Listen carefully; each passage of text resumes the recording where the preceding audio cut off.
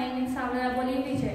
Today I am going to tell you about how to read the wrapper. The wrapper is uh, of Maggi. Uh, you can see there the first is the name of the food item is Maggi. Okay, and it is made by Nestle company.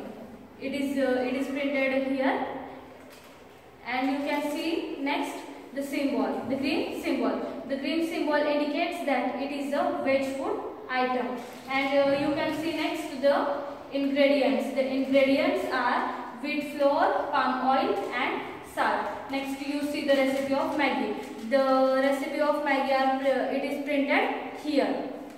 Okay, uh, they are given given only three steps. Next you see the next you see the date of packing. Okay, the date of packing are printed here. The date of packing is 2018 and the expiry date of uh, uh, the expiry date of its products is uh, August 2019 because it is before it is best before 9 months from manufacture date. And the last is the price of the Maggi. It is uh, it is printed here. The price of Maggi is only 12 rupees and thank you